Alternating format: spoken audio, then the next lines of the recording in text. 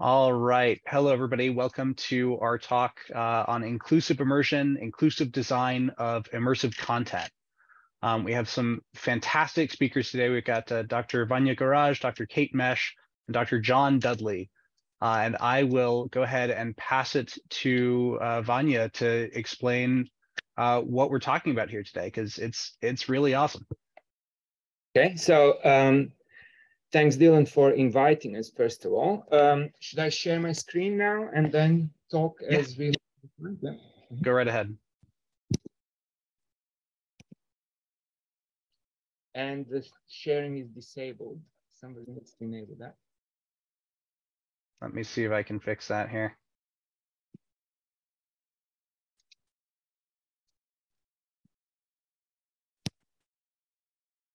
Or Vanja made you a co-host, so see if that uh, works for you. It works now. So can you all see the screen, the, the slide? Yep. Okay, so uh, thanks again for having us. And uh, what we're going to talk about today is our uh, research project, which we call Inclusive Immersion. And then the longer title is Inclusive Design of Immersive Content. So that's the kind of a key topic of the talk. And then towards the end, we're also going to announce our new project, which we are starting in January.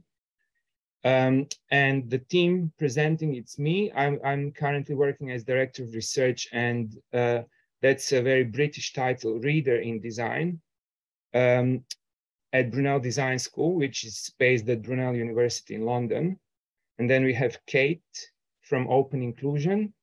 Do you want to say something now? Uh...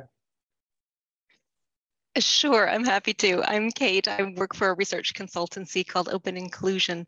For those of you who can hear my accent, it gives me away. I'm an American, but I moved to London. Um, I used to be an academic like uh, Vanja and John, and I am now a recovering academic, which means I could lapse at any time. But what I do is work on um, inclusive design research that makes sure that the experiences of people who, who do have lived experience of access needs makes it to the people who are designing products and services. And then we have John from Department of Engineering at Cambridge. So hi, John. yeah, hi everyone. Uh, I guess I'll talk more later, but yeah, my name's yeah. John. Nice to meet you. And I'm the uh, associate teaching professor at University of Cambridge, but when uh, for the majority of this project, I was a research associate, and uh, my focus is on the design of uh, interactive systems for virtual and augmented and real reality. Thanks, John. So let me Okay, so the, uh, I'll just quickly kind of say a few words about the project. We call it inclusive immersion. And uh, it's basically a research and development project which is funded by the Engineering and Physical Sciences Research Council, which is one of the several funding research funding agencies based in the UK uh, by the UK government. Uh, this is funded under what is called the digital economy theme. Uh, the project started long time ago now. It was in 2019, and it's a four-year project, so it will go on until mid next year. Uh, the overall value is about 700k in pounds, and we have a range of partners in this. Um, Brunel Design School, then Engineering Design Center at Cambridge, Open Inclusion, who are our industrial partner, and then uh, Royal National Institute of Blind People, which also goes by RNIB, and three smaller companies called Games London, To Play For, and Verti Health. Um, Brunel Design School, a, a bit about uh, our background. We are traditionally kind of focused on product design, but over the last, say, five to 10 years, we now started looking into uh, a lot of kind of teaching and research work related to digital design. And through this, we became also interested in immersive technologies about five, six years ago. Um, we kind of started this project because at some point in the UK, I think it was 2017, the government uh, so kind of announced that they are looking at immersive technologies as one of the priority areas for, for investment into research. And at, you know, we kind of realized that there was no um, formal project looking into inclusive design and accessibility of immersive environments at the time. So that's how it all started. Uh, within the school, I lead the group called Brunel Digital Design Lab, which uh, as the high level kind of uh, mission, we, we specialize in uh, design-led technology innovation for digital and digital physical systems, product services, and experiences. And then within this, we now kind of look into two things, two, two areas. One is the inclusive design of immersive environments, and the other one is the use of immersive technologies in heritage and cultural sector. So we did some other projects with, for example, the National Gallery here, where we worked on developing some games for children, which can be played on site in the gallery. And then over to Kate to talk about open inclusion. Sure, I think I already gave my introduction before my slide showed up, but Open Inclusion is the commercial partner for this project, which means that we were responsible for co-designing the uh, protocol or the guide for the usability test that we'll be talking about today. We were also responsible for recruitment for the study, and I'm quite lucky that this first talk that we get to give at XR Access is about methods, so I get to dig into the part that we were able to contribute. And I think that's my introduction, Vanja. Thanks, Kate. And then, um, yeah, there is some um, advertising here as well, which you may want to go through. um, and then, John, few words about yeah, so, uh, design center. Maybe, maybe the tradition of inclu inclusive design there with the inclusive design toolkit. Yeah, sure. So um, I'm here to represent the University of Cambridge and the Engineering Design Center. If you just switch the, the next slide, Vanja. The uh, Engineering Design Center at Cambridge here conducts uh, both fundamental and applied research into improving the design process.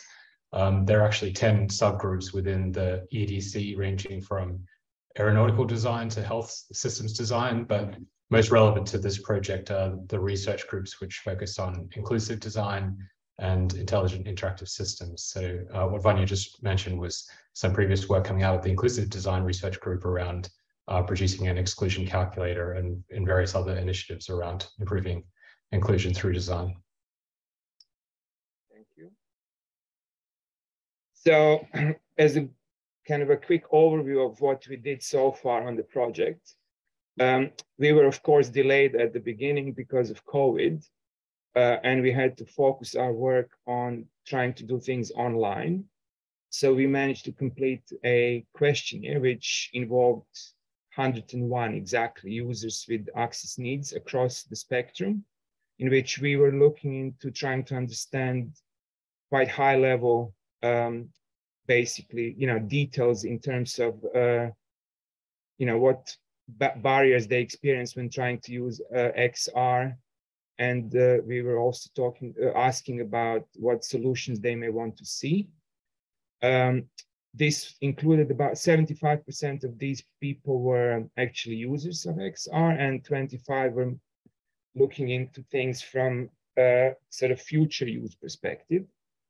We then did a series of focus groups, which there were six focus groups with a total number of 30 um, people across, again, the disability spectrum, where we started unpacking those uh, issues which were uh, basically established through the questionnaire in a little bit more detail.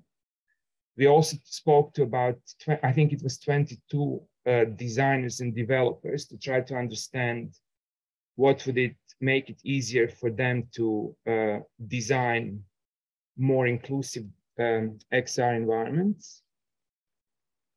And then um, the key focus of the talk today is our latest study, which was just completed and where we did uh, a detailed kind of examination of uh, usability of seven different VR and uh, AR experiences, which involved 41 uh, user. Um, this study kind of adopted an inclusive design approach. And uh, again, we involved users across the disability spectrum. the main aim of the study was to develop a detailed specification of the use uh, barriers in, in VR and AR and try to kind of develop a catalog of the user requirements. Uh, as a bit of a disclaimer, today we are going to uh, present just the preliminary results. We are still doing um, analysis of qu qualitative data. The study took about eight months. Uh, we started probably in March and just completed recently. Um, what we are also interested to do based on the data is to structure some kind of a human performance model, which would link different types of disability and access needs with the use barriers and potential solutions to improve the, the access. So that would be an introduction to maybe some kind of a design guide as well, which may follow later on. And uh, I'm now going, I'm showing a diagram of our kind of user journey through the study, which also uh, shows how we kind of consider different types of in environments. So we are looking into initially at the physical interface and trying to understand what elements of um, the headset and, and control controllers may be an issue and, and how. And then we're moving to the digital interface as it relates to uh, the operating system of the device. And then finally, we're looking into first into digital interfaces of different apps and then the content of the app itself. So um, we are using um, Oculus devices uh, and basically, you know, looking into the, the standard kind of interface which comes with Oculus. And then as in, in preparing the study, as Kate said, uh, we did quite a bit of work in trying to understand how we should uh, structure our study sample. So this is, I'm now showing you what we call a user matrix, in which we uh, basically try to organize uh, different access needs according to different categories with the key ones being uh, perception, cognition, uh, communication, and mobility. And then within those, we also have um, several kind of subcategories. So with perception, we were looking into uh, access needs related to sight, hearing, and touch. Within cognition, there is the whole kind of set of different needs. Um, include, for, for example, uh, you know, things to do with concentration and attention uh, span, difficulty understanding information, and so on. Um, communication was mainly focusing on voice, but looking into non-vocal communication, phonation, and so on. And then for mobility, we looked into the overall kind of physical mobility through space. Uh, the idea was to kind of try to understand the access needs as they relate in particular to to uh, to kind of using um, VR and AR devices. So we, we looked into physical mobility through space, the use of arms, use of hands, and then movement of head. Um, what we're also trying to doing now is, they, is running another kind of uh, set of um, user sessions with people who do, do not have any declared access needs. So we're, we're going to use this as a control group. And finally, we are hoping to run a study of 10 people who are um, over the age of 65, but again, without any uh, declared access needs. And I think this is where I now uh, pass uh, to Kate and she's going to talk a bit more about the actual methodology and how did we go about conducting the study. Thanks very much, Vanja. Um, mm-hmm. I think that many of our audience members will be familiar with the joke, what does an 800 pound gorilla do? And the answer is it does anything it wants. Uh, the joke is usually about organizations that are so massive that they can get away with doing anything they want. But in this case, we're making a reference to the joke to point out that once your usability test becomes enormous, it can start to have its way with you. Uh, my part of today's talk is to describe the methods that we used to make sure that the 800 pound usability test actually worked for our research teams and for our participants. I'm ready for the next slide.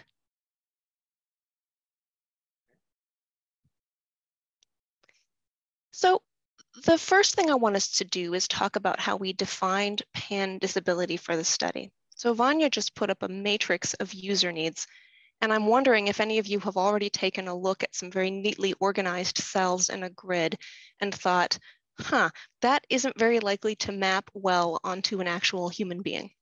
Uh, we couldn't agree with you more. Uh, next slide. For the purposes of our research design, we needed to recruit people who had a wide variety of access needs. So we created the matrix of needs to make sure that we had full coverage of a, of the spectrum of needs that were of interest for working with VR and AR. But we also had to recognize that individuals have access needs well beyond one, and that we're very unlikely to find a person who categorizes neatly into any one of our boxes.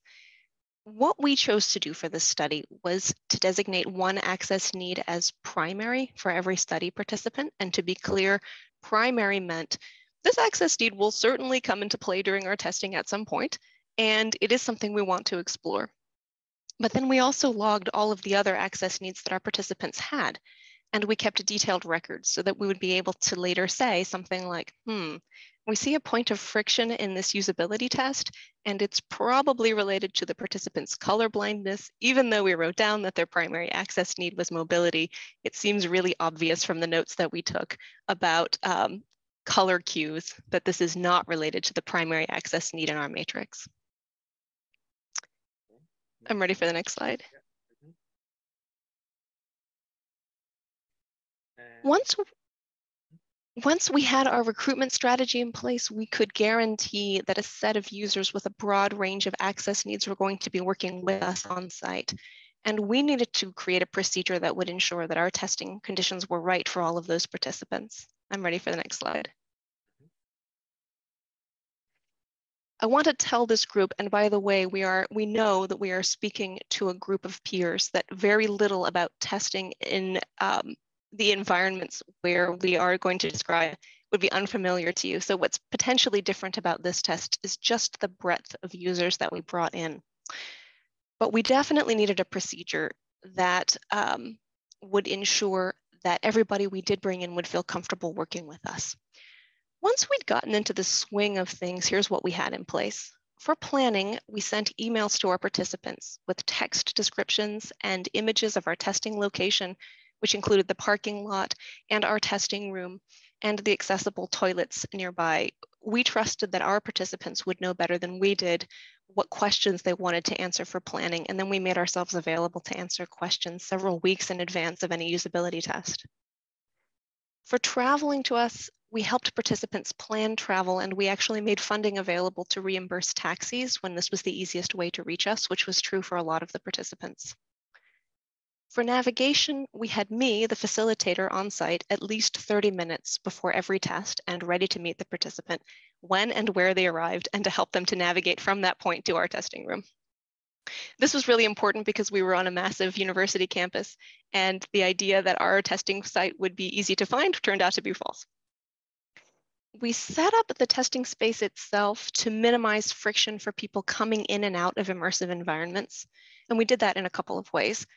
We limited the number of researchers in the room, and we worked with the participant to decide should we lower the lights or make any other changes to the room to make it a little bit less jarring to move from the immersive experience back into the physical world. We ensured that there were plenty of breaks scheduled into the testing period, and actually we asked participants to request as many unlimited breaks as they wanted beyond the ones we scheduled. And we made sure that during those breaks, we had food and still water and sparkling water available to help people recover energy and also to feel better if they experienced sim sickness. And finally, we made me, the facilitator, available to chat and decompress with participants after the sessions and to accompany participants to their transport options for the ride home. So that's how we managed to make a test as adaptable as possible for a lot of different people. And now I want to talk about the test itself, which will be the next slide.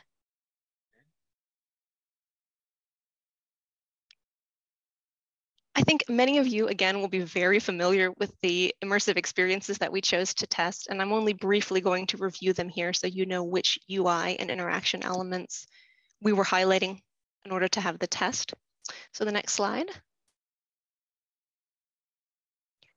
As Vanja has mentioned, we were working with an Oculus Quest 2 VR set. We asked our uh, participants to start their testing session in the home area of the UI where a menu appears in the space in front of the user. And we asked players to make selections in the settings and app menus here. Next. Then we used Google's YouTube VR app to test voice commands with our participants only when they were willing to use their voices. So I do want to clarify we asked all of our deaf participants if they would choose to use their voice for this activity at home. They said no. We respected that choice. So we have some data gaps here that are at the choice of the participants. Next. Then we showed the 360 degree video documentary called As It Is by 360 Labs. This experience had actually very few elements, but it did allow viewers to experience a river rafting trip inside an immersive environment uh, there's a small set of video controls and we did ask participants to use them. What I have on screen is one participant's view from the river rafting experience. Uh, next. We then worked with the job simulator game by Owlchemy Labs, where players use their virtual hands to pick up and manipulate common objects. We chose this game uh, because we wanted to test a wide variety of interactive elements, and there are many ways of interacting with objects inside here. Um, you can see in this image of players reaching towards a crumpet that they have placed on the hob. By the way, I did not have to explain crumpet or hob one time in the UK. I was very pleased about that since I would never have understood what this meant if I were playing this game in the US. Um, feedback in this environment appears in the style of a robot narrator. And in this example, what we have is a caption from the robot that says, to cook flat items, humans used devices called toaster. This is just an example of the types of interactions that the robot would have with participants in this experience. Next. We worked with the PolyArc game Moss, which features a mouse called Quill. And we chose this game because it has a very different set of UI elements and it does require the player to move a mouse, but also interact with all the objects around her. Here, our player is pulling a stone forward to create a bridge that Quill the mouse can walk over, although in this image, she, she's sitting under the bridge. Next. The last VR experience that we tested was the Reality Labs game called Elixir. And we chose this game in order to test hand recognition features of the Oculus Quest in a fun environment. This is a game where players do not use hand controllers and instead they use their own hands to interact with virtual objects. And here we can see a player reaching one hand out to touch a stone and a virtual version of their hand appears over the stone. Next. Our two AR experiences were, were very straightforward. The, the first was the Amazon shopping app we asked participants to use the view in my room feature to view a virtual piece of furniture inside the testing room. And here's the participant's view as they're placing a purple chair inside the room and they'll start to manipulate the chair and move it against other objects in the room to see the suitability of the chair's size. Next. The second VR experience was Van Gogh's Room, which is an app that asks the user to scan inside their own room until a sketched doorway to Van Gogh's room appears in the space in front of them. And then the user can either physically move forward to see the updating image on the screen showing them passing through the doorway and moving inside the room, uh, or they can use gestures on the screen to essentially grab the room and pull it up around them so they've brought the room to them. Those are the full set of experiences that we tested with participants. Now, we anticipated that there would be many friction points in the testing where design was mismatched to users' needs, and we did not want to prevent those friction points, but we did want them to be manageable in the testing context. And this image, by the way, underscores my point by showing a user who's sitting in a wheelchair reaching up to a pantry door in the job simulator, but the door is inaccessibly high. let's go to the next slide. So here's what we did to make it possible to observe friction points in a way that we could actually manage as a team. Uh, first, we gave ourselves a three hour time window to test the experiences that I just reviewed with you, which meant that we could have three mandatory breaks and even more breaks as needed or requested by a participant. Um, it also meant that we could uh, engage in problem solving, sometimes at length, uh, when we encountered friction in experience. I actually see Lucas is saying he has a question and wants to know if he should save it for later. Oh, what the heck, Lucas? I want to hear your question. Maybe you could type it into the chat. Yeah, were these activities chosen using any previous research knowledge, or was it more using what was available? That's a really good question. Vanja had done previous research um, focus groups that had yeah, asked about Sorry, go ahead, Vanja. Yeah, uh, so we were trying to uh, obviously use what was available, but not in a random way. Uh, the idea was to try to somehow expose people to uh, different experiences, which then require the use of different kind of faculties uh, across that spectrum uh, and across the user matrix. So um, we want, you know, so we, I'm not sure whether we covered everything 100%. And then the, the other point was to try to make them progressively slightly more difficult from one to another to see uh, how that kind of affects performance as well. So yeah, that's the, we, we did think quite a bit about which experiences to include. So they relate to the matrix and the, you know, kind of difficulty and, and how it progresses through, through, through the whole kind of set of experiences. And then yeah, of course really... we want to mix VR and AR. Nice. It's a really Sorry. good point because, thanks, Sonia. It's a really good point because this matrix of user needs meant that if we were asking participants to come in who said, I have difficulty with um, vocal expression, then we needed to make sure, of course, that we were testing experiences where that would be relevant. So we did some fitting of the experiences to the full access need profile that we started with, but we also did choose a lot of things that were just out there when it comes to trying to make this test work really well and manageably around friction points that we did want to capture, there's um, something else that we were able to do with this three hour time window, which is that we could sometimes engage in problem solving at length. So if someone really wanted to see if there was a way to make an experience work for them, we really had the time flexibility in those three hours to do that. We also assigned a separate note taker, which might seem like a trivial point, but it freed me as the facilitator to keep my visual attention on the participants. And it also allowed me to fully engage during problem solving. So if a person said, grab this controller, I want you to do this, I had the flexibility and freedom to do that. Next. We also invited participants themselves to think ahead to friction points with us and to help us make the test as suitable as possible for them. So they could explore the full set of experiences. The photos here are showing one of our participants who's a, a person of small stature. Uh, I should mention that anybody whose image is here has given permission to, for this image to be shown in today's talk.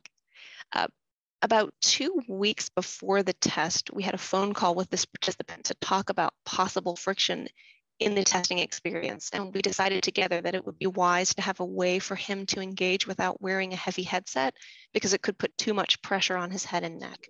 So we designed a rig where we could mount the headset on a tripod and make it possible to hold the headset and walk up to it. And we also made time within the testing session for the participant to wear the headset and just test the possibility that it might be feasible to wear it. Now, as it happens, this participant is also deaf and he uses BSL interpreters. Um, and coincidentally, he and I both sign American Sign Language. So in the image, you can see that he and I are signing. And for anybody who's wondering, he does have pass-through enabled on the headset. So he's looking through the camera of the headset and can see me. And in the background behind me, we also have a set of BSL interpreters who are on site to make communication more fluid since ASL is not my native language and it is not the participant's native language. Now, I've talked a lot about friction in the past few minutes. And, and I want you to take a look at our coding system so you can see how we moved from frictions to solutions inside the coding itself. Um, all of our codes talk about whether and how an experience works for the participant just as it is out of the box. and then whether the participant can make the experience work for them with adaptations or assistance. So we defined the word adaptations to um, describe behavior changes that the participant themselves used to make the VR work better for them. So a nice example would be if a participant said, I actually want to put one hand controller down and I want to operate one hand controller with both of my hands. We would treat that as an adaptation that the participant chose. We defined assistance as any place where I, as the facilitator, stepped in, uh, typically to mimic the presence of a design feature just, just wasn't there. So if we needed, um, as an example, a screen reader for blind users, then um, I might mimic the presence of a screen reader uh, and we would call that ad hoc imitation an assistance. So our scoring system was designed to highlight solutions that were emerging in our se uh, sessions um, really in a qualitative way to talk about what kinds of solutions participants were coming up with and what might work well. And then of course the numerical scores helped us to quantify just how much the design worked out of the box versus how much these adaptations and types of assistance were required. Um, I see a couple more questions and I want to quickly address the ones that I can, and then I'm going to hand it off to John so he can talk about just what the scoring system got us in terms of earlier results. Um, did we do any testing on the hardware? The answer is we didn't have as much opportunity to make adaptations to the hardware, but absolutely we had a section of the testing where we talked about, is it possible to hold it, manipulate it, what does and doesn't work, what are participants choosing to do? Same thing for the headset. Is it possible to adjust the headset? Does it require assistance or adaptations? Um, the platform hardware we used for the study was the Oculus Quest 2. And with that, I'm going to hand it over to John. Thank you very much, Kate. Okay, so yes, I'm going to be talking about some of the preliminary results. As, as Vanja mentioned, these are sort of hot off the press, so forgive any gaps in the data or some um, you know, missing points here and there. Uh, if you can move to the next slide, Vanja. So just as a reminder, um, this is the brief categorization of uh, primary access needs that we applied. The purpose being just to give us some resolution to the uh, well allocation of participants to the study, but also some resolution to the analysis. But we totally recognize that this is imperfect, as uh, as Kate elaborated elaborated on earlier.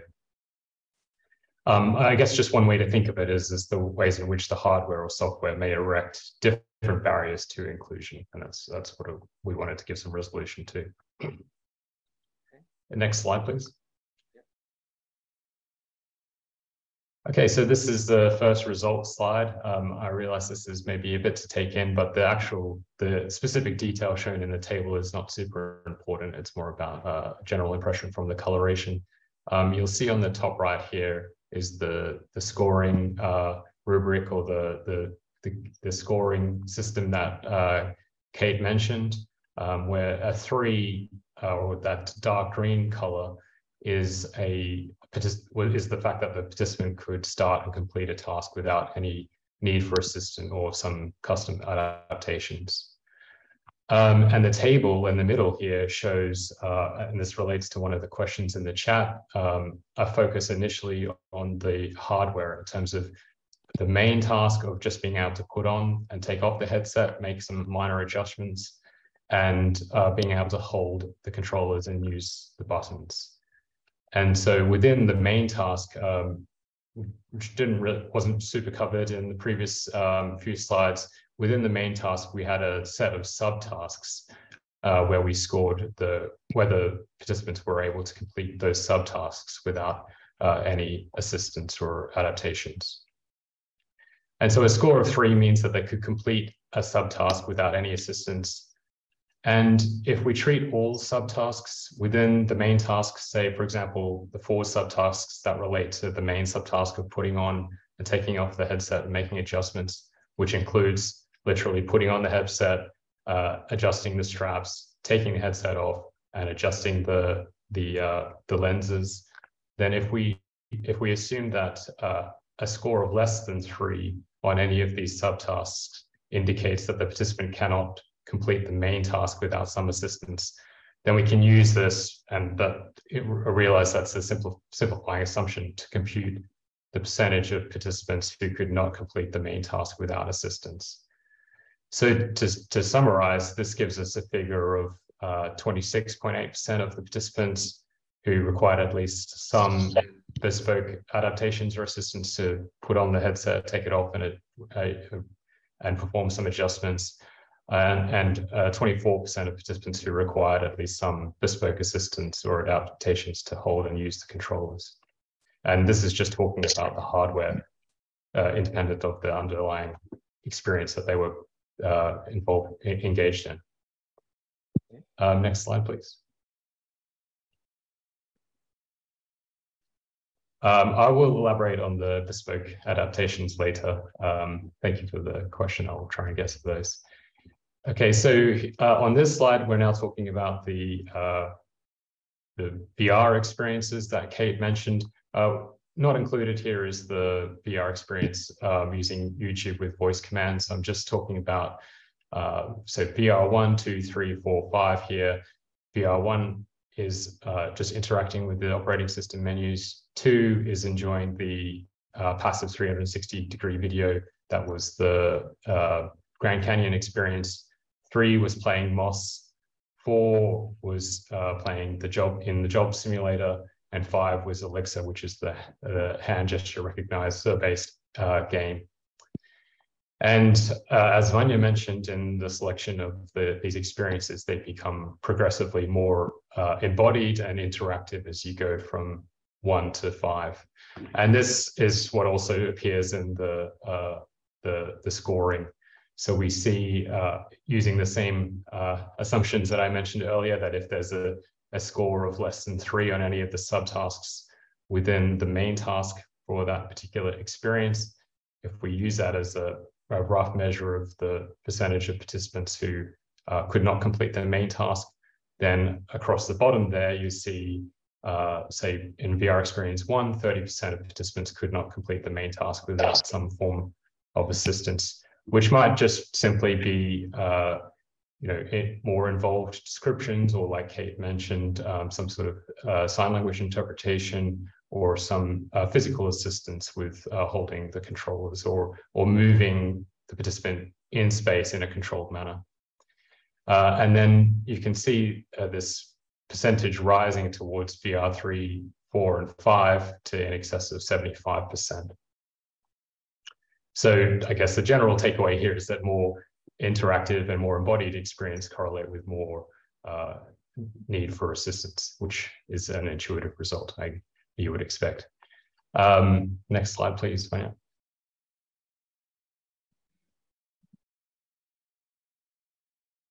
And here is the same uh, form of uh, results for the AR experiences.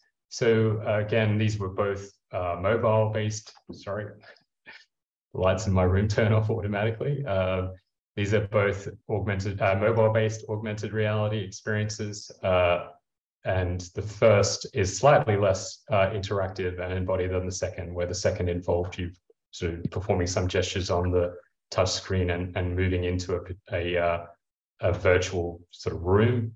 Um, and again, we see the same kind of general results here that uh, as as the experience becomes more interactive, the, then it, it presents more difficulty for participants, as again you would expect. Um, Next slide, please, Vanja.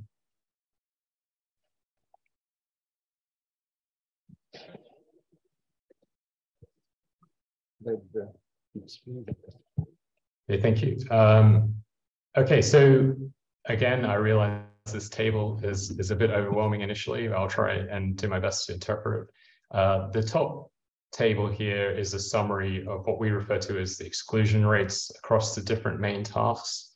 And so the number shown within the uh, individual box is the, the percentage of participants who could not complete the main task without some form of assistance.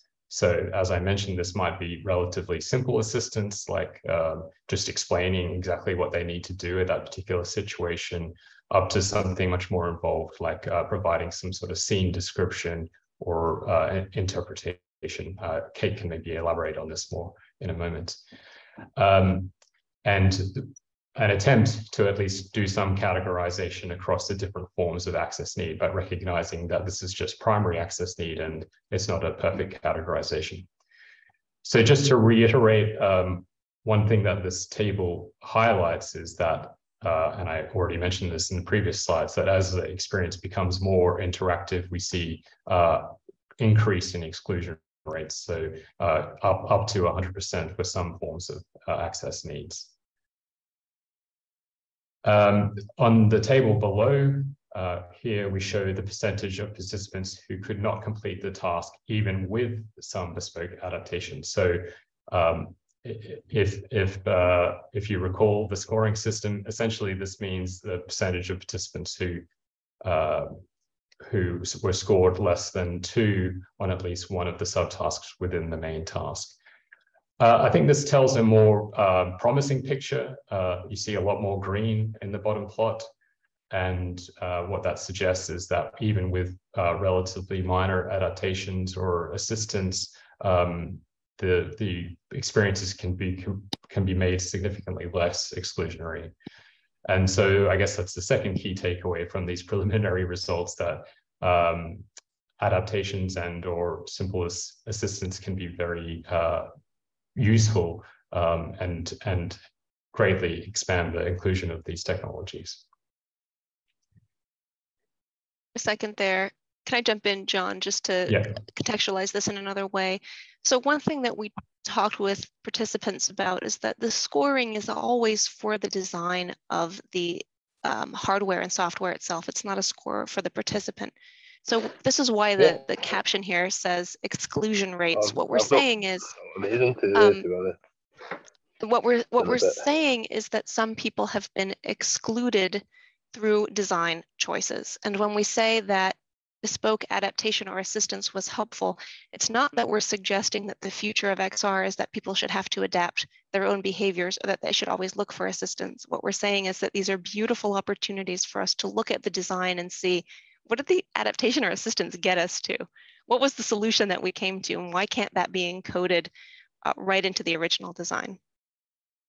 Yeah, th thanks, Kate. I, yes, that's an important point. What, what I mean here really is that uh, by the second takeaway is that if we can uh, operationalize these adaptations and assistance and actually embed them into the out of the box experience, uh, then that's a promising picture going forward.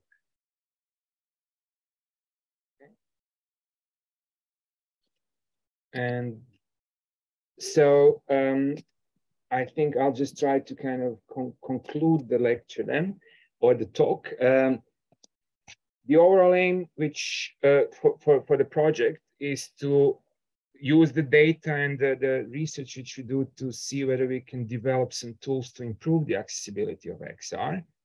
Uh, so it's not just uh, pure research, it has a sort of more utilitarian purpose as well.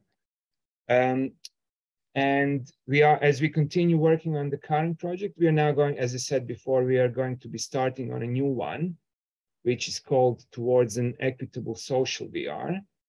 And as the title suggests, the new project is going to be looking into the social kind of immersive experiences, VR and AR if possible.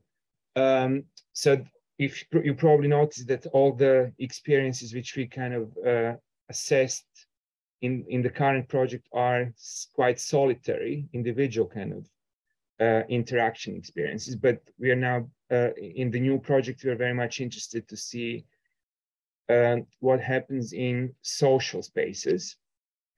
Uh, that's also funded by the same funding agency. So we're quite happy, lucky to, to have their support and overall it's going to take you know be, be, they're covering uh, our work for a number of years. Um, we now have some new partners as well. One of them is uh, called digital catapult and they're an, another kind of government agency here in the uk which is uh, trying to you know they're, they're looking to facilitating um, commercial kind of activities from research projects. So uh, looking at you know by, by doing our research, we are also interested to see whether we can, um, you know, somehow try to convert this into uh, some kind of marketable or you know, solutions which may become available in the market. And then we also have Meta as a partner on the new project. Um, the project is slightly slightly larger uh, and it will go on until the end of 25 possibly even longer than that and as i said before we're going to be focusing on social vr and the metaverse. Uh, we are probably going to use horizon worlds as a testing ground. And the idea here is going to be to is to kind of uh, not really bring people into the lab, but uh, supply headsets to them and then meet them in a social VR space and then conduct those experiments within VR environment by remote, uh, which kind of follows the whole kind of idea of social VR. Uh, that's again probably enough to talk about uh, you know about this diagram for the next 10 minutes. I'm just going to quickly kind of uh, explain what what's here. So this is like the domains, different domains of, of what we're interested in. So we're looking into the whole kind of experience uh, domain, which includes content, environments, and then uh, user interfaces and interactions. Uh, with social VR, there is the complexity in that users become also developers or can become developers. So that's going to be the secondary layer of our investigation. And um, we are going to obviously build on what we have done so far and try to probably apply the same user matrix with some modifications in the new research. But uh, overall, I think uh, the key focus is going to be on uh, you know, the, the environmental aspects, which can be changed by design, but and we are also interested in human behavior in social VR and see how that affects inclusion. Um, so functional and psychosocial aspects of inclusion. And then why do all this? Uh, this is our second line of inquiry. We believe that the immersive rea reality uh, has a strong potential to contribute to the quality of life overall. And, uh, you know, th that can be explained by this concept of virtual mobility uh, it can extend to social life, education, employment, entertainment, and so on. So accessibility is just one step towards achieving that. And whoever is, if, if there is anyone interested to read a bit more about this, we recently published a short article on how we kind of see these things on uh, the platform called The Conversation, which was also then republished by a number of other media, but uh, that's something to uh, maybe look up after the, the, the, talk. And that's, I think, where we finish. We now have some time for, to take some questions. Um,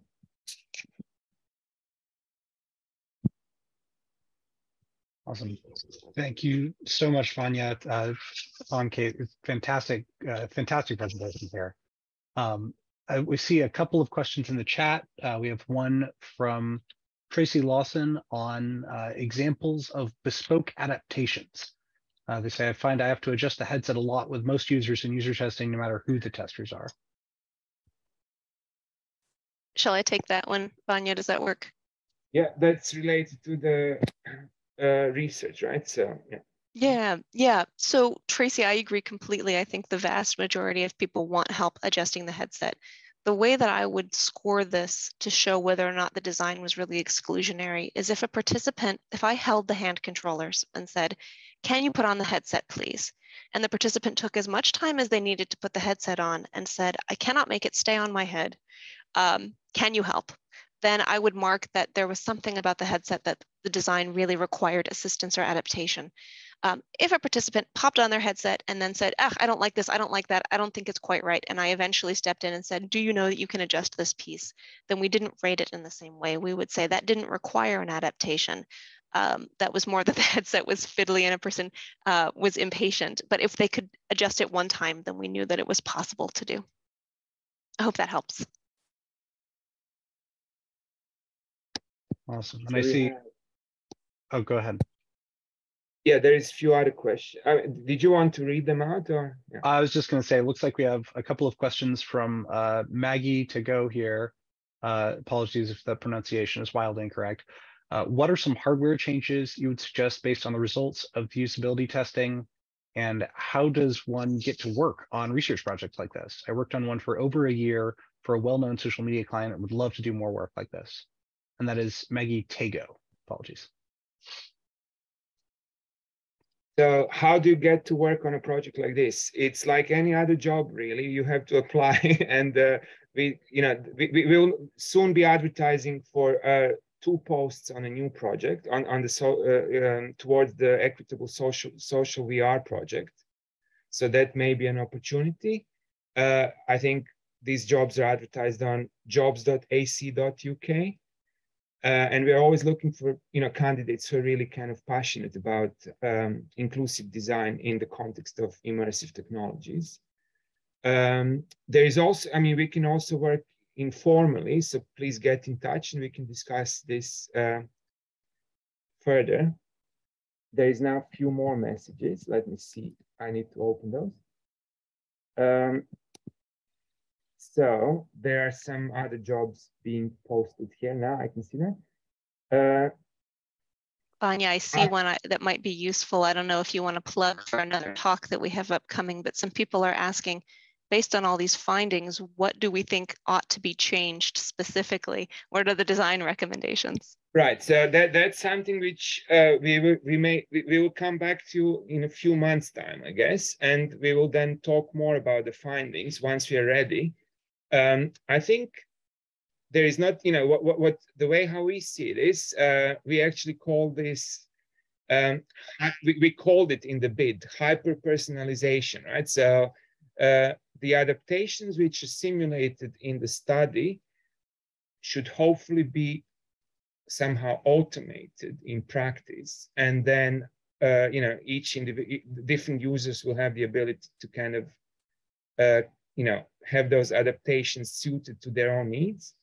But uh, the answer to the i don't think we can really answer the question uh, just so you know in a simple way right? There is a lot of different things which will have to be done.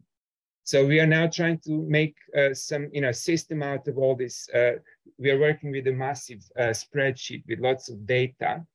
And we are going to try to categorize this in uh, like first of all friction points based on those key categories and then you know try to kind of understand what the adaptations or solutions may be needed. And then think of how do we one, one of the key challenges is how do you kind of come up with something which works technologically and can be you know implemented in in, in a number of different environments. So yeah. Uh, may i add something there Vanja? Yeah yeah sure sure. Mm -hmm. Thanks. I think that my colleague Tom at Open Inclusion would be very excited to tell you that we will have a design focused talk that will come up in the spring. Um, so we, we rather artificially carved this into the methods and how we made this 800 pound study workable for us. And then the design pieces of it's not perfect, the recommendations aren't finished yet, but here's what we think would really work for design. and I, unfortunately, I don't have a date uh, nailed down for that yet, but I know we're working with Dylan to have that at XR Access. I think the, the estimate would be sometimes in February or March, right? yeah. But yeah, uh, we'll get back to you on this. We're very excited to see the part two of this uh, this chat as soon as all this delicious data has been digested a bit. Any, awesome. any other questions? I see one last question coming in here uh, from Miranda McCarthy. Have you explored the idea of using co-pilots for users with complex needs and embracing interdependence rather than independence? Uh, yeah, I mean, not, we probably didn't use this term, but we did discuss uh, the idea of uh, assistance, um, which would be, again, provided in most cases in some kind of automated way. But are you do are you referring to human assistance, like remote human assistance? Is that yes. What, yeah. Okay. Yeah. So we didn't really talk about this uh, in particular. I think uh, we are quite. Uh, so far, we have been talking mainly about automating um, and use. You know, kind of providing some assistance in an automated fashion.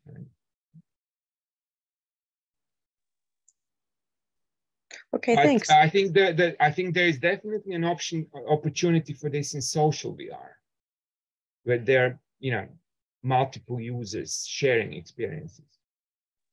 yeah, that would be fascinating, actually. Yeah.